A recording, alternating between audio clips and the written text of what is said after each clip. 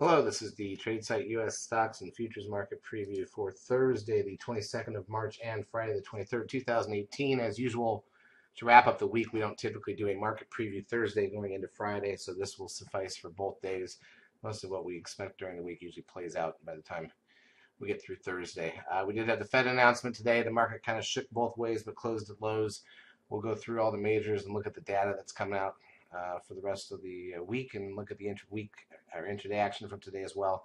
Here's a look at the ES front month futures contract. This is the daily chart of the broad market and futures forum, still hanging around the 50% retracement of the drop. So really nothing there to say. Crude oil, uh-oh, up two bucks to 65.55 and back near those highs. Nice high range base breakout for a potential for a potential breakout anyways. Gold closes up 18.2. S&P cash down 5 an outside engulfing day. NDX, the NASDAQ 100, down 32.47. Don't forget, we talked about the floating island, that one, two, three, four, five, six day floating island.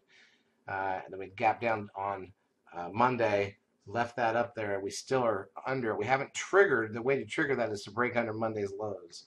So that'll be interesting to watch. That will actually trigger the floating island, uh, which is a negative for the market. SOX up two, biotech's up three, not a big deal there. The VIX uh, closes down 0.34. Uh, the TRIN closes at 0.92. That puts the 10-day moving average at 1.11. NASDAQ volume 1.9 billion shares. Again, very light like the day before. Interesting. It was really light early, like we had a volume warning because everybody was waiting for the Fed. Advanced decline ratio on the NASDAQ plus 261. Advanced decline ratio on the New York plus 460. By the way, both 10-day moving averages on the advanced declines are almost exactly zero. Google down a buck 80 at the close. Apple down 397. That's a big negative close for Apple, low of the last month.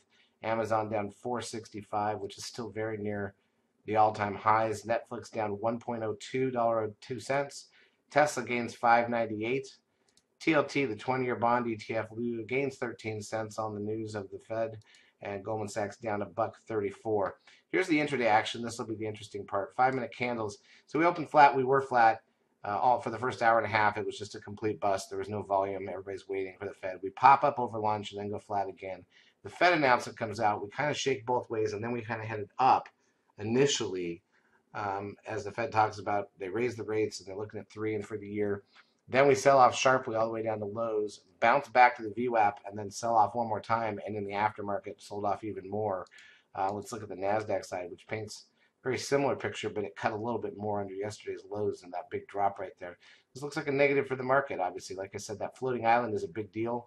And if we break under Monday's lows on Thursday, that could be, I think Thursday could be the better trading day of the week. In terms of economic data still coming out this week, we've got the weekly initial and continuing jobless claims an hour before the bell tomorrow on Thursday. Housing price index at 9. Uh, manufacturing PMI and services PMI at 9.45 a.m. CB leading index at 10. Natty Gas at 10:30.